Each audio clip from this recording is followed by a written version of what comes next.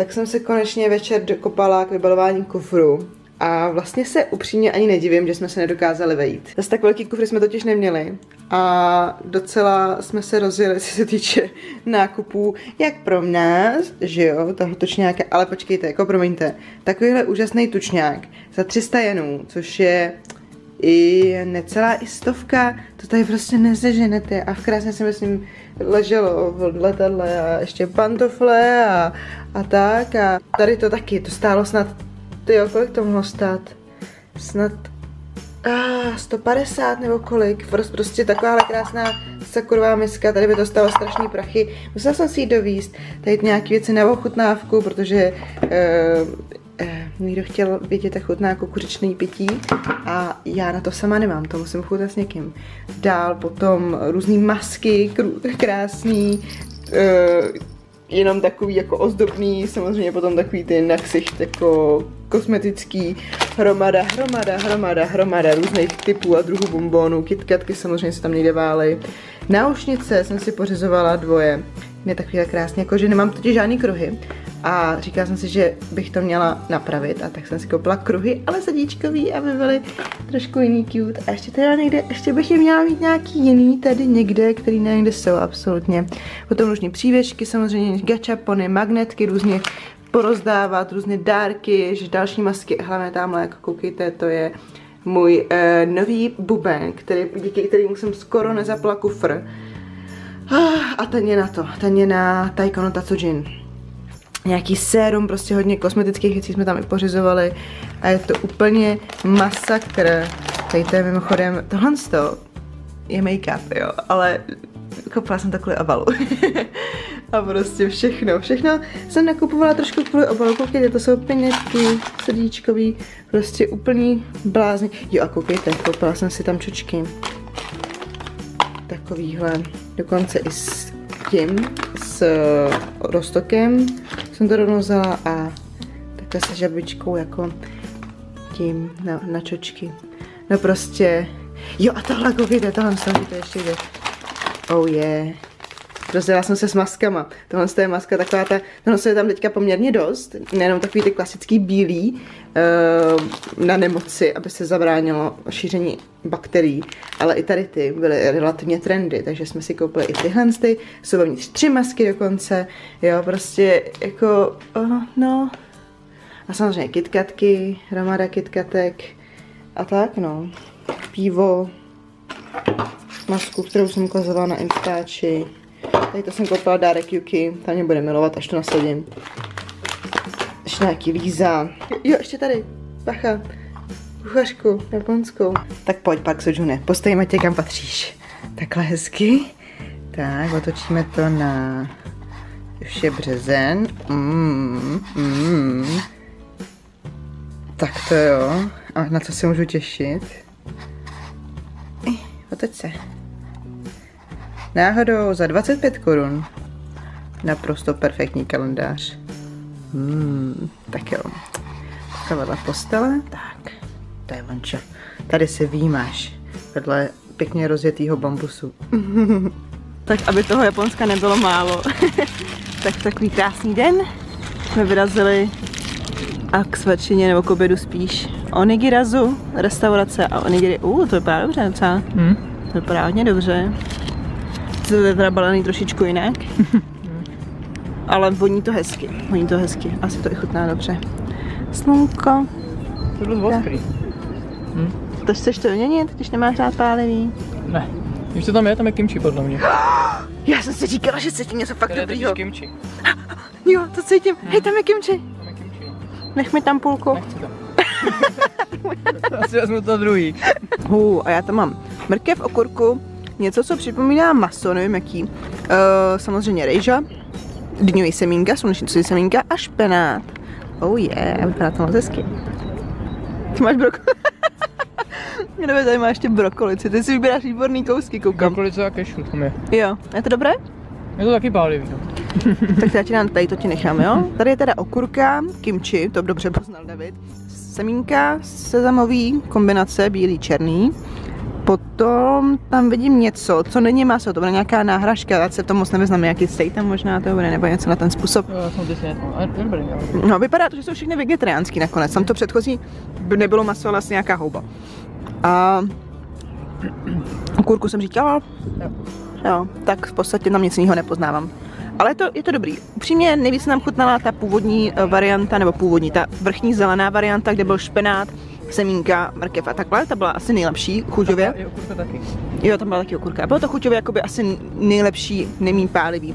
Eh, Ta brokolicová byla celkem pálivá, ale dobrý, ale taky čím mi přijde lepší než ta brokolicová. První ovšem ta zelená. Pokud byste chtěli někdy navštívit a ochutnat.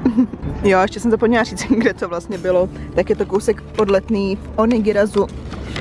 Takový malinký obchůdek, kde to prodávají. Není to restaurace vyloženě. Proto to dáme také na letní hezky.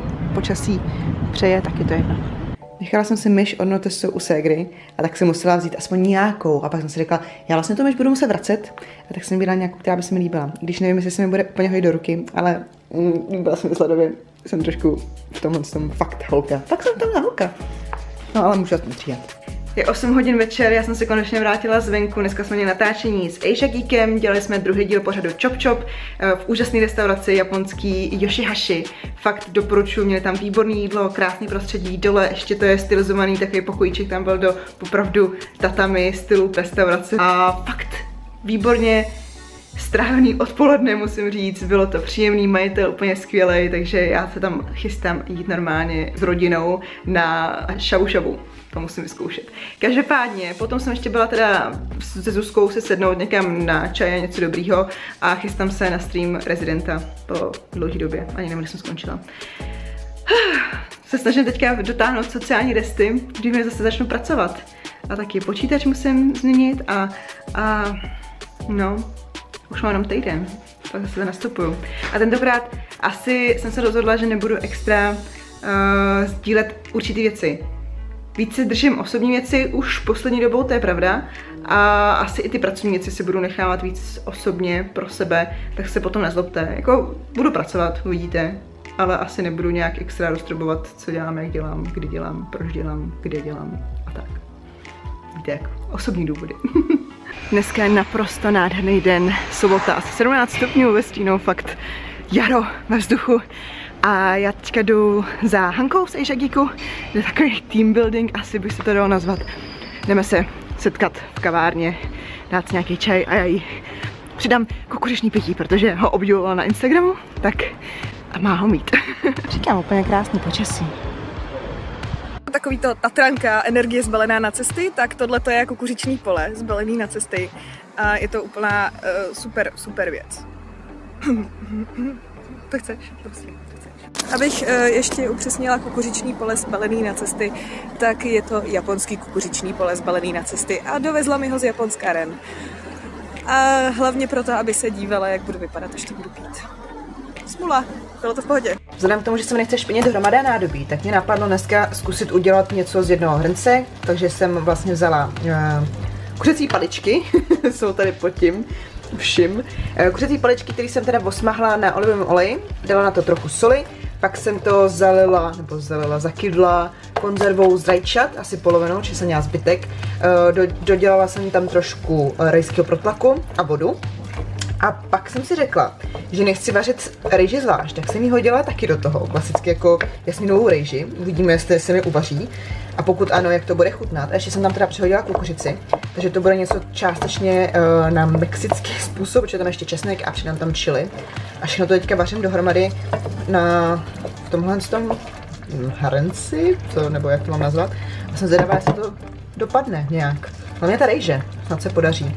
No, nechám to společně takhle hezky dusit, vařit. Ještě to překlopím, proto to budu dusit. A schválně jak to dopadne. Ta rejže mě zajímá nejvíc. Tak kdyby vás to zajímalo, tak to funguje, jenom to nesmíte zapomínat míchat, protože tady se mi to trošku připeklo, jsem řešila nějaké úplně jiné věci, ale rejže dovařená a v pohodě. Takže takhle můžu dělat, jenom fakt opravdu je potřeba to hlídat, ne to takhle připít tady uprostřed. Oh. A je to dobrý, k podivu. Dlouho jsem nepekla, ale Aure měla narosky, mám se s nima dneska s Anzikem sejít, takže se pokusím ukuchtit něco uh, z téhle veganské kuchařky a jediné, co na co mám suroviny, na co si troufám a na co mám čas, já jsem chtěla dělat původně jiný dort, ale nemám na to už čas, uh, tak protože se tam strašně moc mrazí. Je, tam, je to raw dort, moc se tam mrazí, takže to vyzkouším jindy, ale teďka na jiné věci mám maximálně na tenhle dýňový koláč s kokosem, tak ho jdu zkusit udělat. Připravu těsto, to je 250 gramů špaldové mouky, špetka kyřicího prášku, jasně, 150 gramů cukru, já jsem tam dala třtinový, to je tady ten nějaký ten bílej tady vedle. Potom půlžička vanilkového prášku, to nevím úplně co je, tak jsem to dala půlžičku vanilkového pudinku. Uh, půlžičky mlaté z kořice, to je jasný, špetka soli a neutrální olej, tam slunečnicový. No, jdem to nějak zamíchat, ale nevím, má to být asi těsto, který se bude vytlačovat, tak snad to bude mít dobrou konzistenci. No, tak to jsem zvědavá, jestli to někdy z té formy dostanu, protože to bylo takový to crumble těsto, ne celiství, který jsem tam musela jakoby opravdu vytlačit a potřebovala jsem to teda předtím hm, tukem, takže to znamená, že jsem to potřeba olejem předtím. Takže jestli to nejde vylaze, budu ráda, ale předpokládám, že asi ne, že se s něčím pekáč, uvidíme. Každopádně to mám dát hodinu odpočívat do lednice. Mám to trochu zjednodušený, protože to nemusím blabat, mám to tady zmražený, předpřipravený. E, mám trošku jiný poměry, 700 gramů vanil být Hokkaido a 600 ml, 600 ml kokosového mlíka, ale e, e, tady tu mám 500 a tady tam taky 500, no, takže tam dám 500 a o jedno míň, 400, nechám tam si stovku. Do toho zase uh, z kořice, vanilkový prášek cukr. Yes. Ty bláho, ty to kokosový mlíko vypadá hodně zvláštně, protože jsem nechávala v lednici kvůli tomu druhému receptu, kde jsem z toho měla udělat něco jako frosting, jako whipped cream uh, z kokosového mlíka. A dovedu si opravdu představit, že by to z toho šlo, protože to je za prvé hodně dobrý, to tady ochutnávám, a za druhý opravdu by se to dalo vyšlehat, jako teďka s nějakým cukrem. A dalo by se to dát jako taková ta obleva, poleva, povrch na dort. No, uznám, že teďka to nevypadá úplně chutně, ale bude to dobrý, nebojte, věřím tomu. Tak to dochutím. Nic, co by nespravilo cukr. Teď jsem tam ještě kydla dvě lžičky agaru, mám to ještě jednou převést k varu a pak to budu mixovat, snad to bude tuhý. Rozmixováno, ještě jsem to trošku dochutila s kořicí a trošičkou cukru. Chutná to dobře, jediný, co se bojím, je, že to nestuhne. Mám to teďka nechat vychladnout a dokonce se to ani nepeče potom společně s tím těstem. Tak jsem na to zvědavá teda. Propícháno, 180 stupňů 20 minut, prostřední rošt. No, tak jsem to dala dovnitř, mám asi víc náplně, než bylo potřeba a mám to nechat dvě až tři hodiny na chladném, chladném místě. A na závěr jsem to ještě ozdobila kokosovými čipsama a nějakýma cukrovými hvězdičkama a panduláčkama z Vánoc. a je to hotovo, balím, vyrážím, už mám zdržení, poždění. Absolutně nechápu, kdy se to stalo, ale jedu na víkend k rodičům. Tohle je moje oblečení, který si sebou beru na víkend, jo, tady ta malinká věc, ono to ani není do konce, jo, co, to, tyjo, dvě trika, tepláky, ještě jedno triko na zpátek a tamhle jedno. No, ale ten zbytek. Hry, Overwatch Lego, mikrofony, stativy, uh, movie, tamhle popfiltr, tady když to odkryju, jsem si říkal, že by mohlo fajn uh, si zahrát retro hry na Playstationu, že jo, táta tenkrát s náma začínal na Playstationu, takže to táhnu. Samozřejmě počítač, starý, který budu teďka čistit o víkendu, abych ho mohla vrátit zpátky do práce a zaplnit si ten svůj nový, který předpokládám, že dneska dorazí. Objednala jsem se ho do Chumutova, ovladače, že jo, tady nějak kimči. a doufám, že se mi teda nevyto, nevytevře, neotevře a nevylije se mi do kufru, jinak se toho v životě nezbavím. A ještě tam přijde kosmetika. A tak, takhle já cestuju na víkend s takovým obřím kufrem, ale není to kvůli tomu, že bych nebyla schopná se pobalit do batohu. Klasicky, pokud bych byla klasický cestující člověk. Bože můj. Vzhledem k tomu, že bych chtěla ochutnat jajang, tak jsem uh, zamířila do Shin Foodu, abych to tam všechno pokoupila, věci na to. Potřebovala jsem tohle, potřebovala jsem tohle a potřebovala jsem tohle. Jo, a jo, a ještě vlastně chtěla soju, což je prý něco jako naředěná vodka, v klasickém podání. Já jsem to měla teďka v tom Japonsku v depový příchodě, nebo jaký to bylo. To bylo dobrý, ale chutnalo to spíš jak nějaký naše, hmm, nějaký frisko ovocního, tak něco.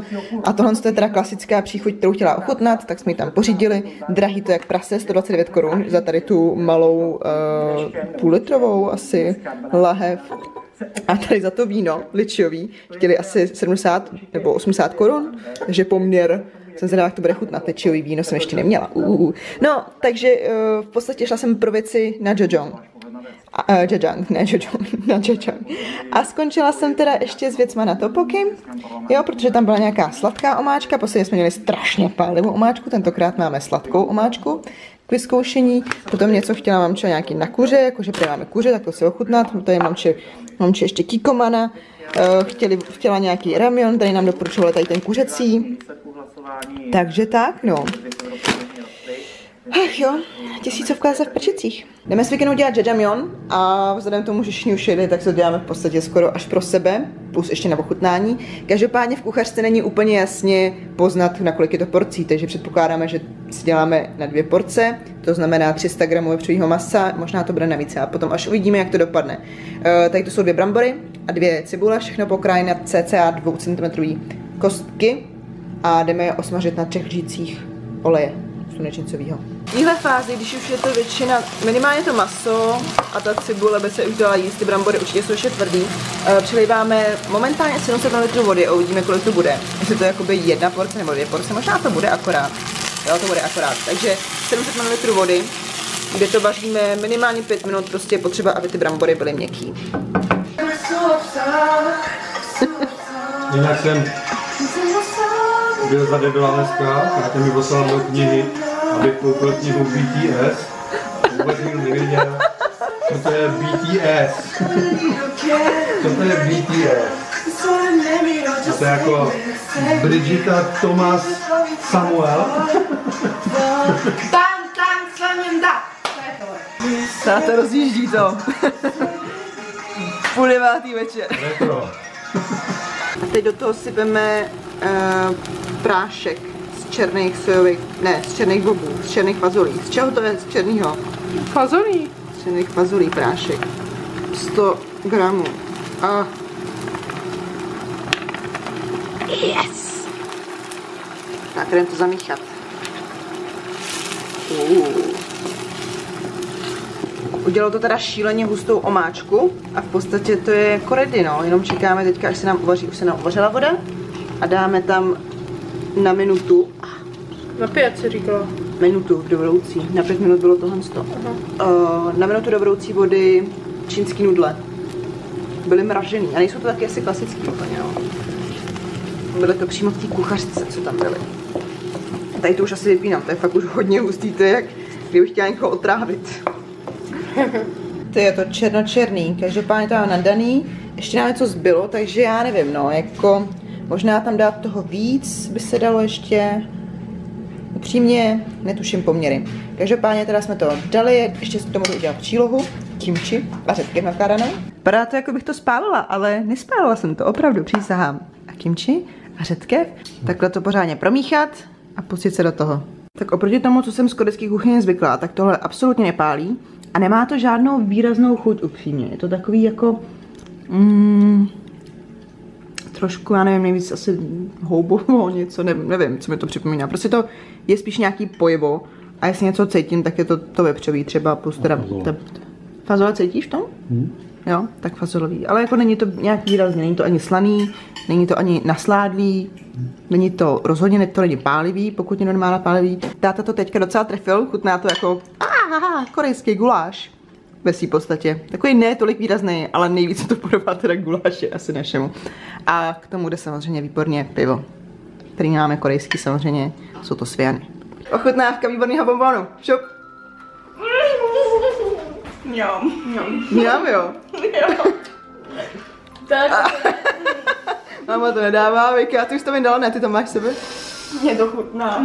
No, to chutná, je to strašně kyselý. No, ono na to... Já to dám babičce. Ne, koukej to sníst, ty jsi to chtěla z to? Dávám. Chtěla jsi to? A už máte scény to kyselý. To nebylo vůbec zábavný. Ej, a to musu. A nevím. Dobrý?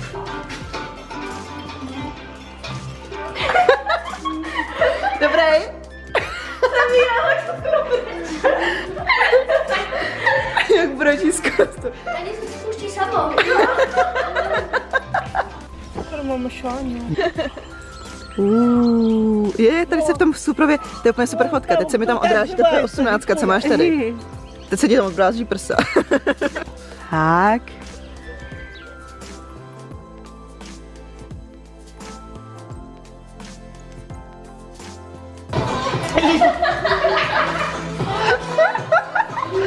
Konečně pořádná reakce na ten bonbon, jako.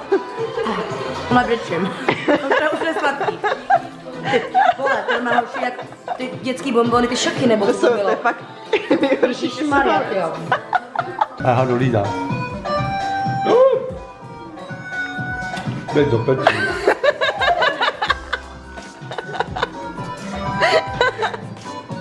A jsem tvoje dcera, tati, reagovala jsem stejně.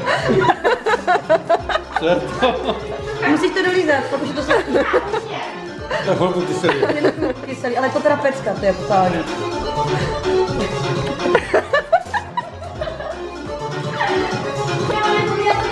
Petr, slízej, slízej. To budeš vracet, to žlučí nahoru, ale pokud to bude dobrý. Jestli to nebude... Ne, pak je to sladký. Tak se zabiju. Bude to sladký, to jsem ti to.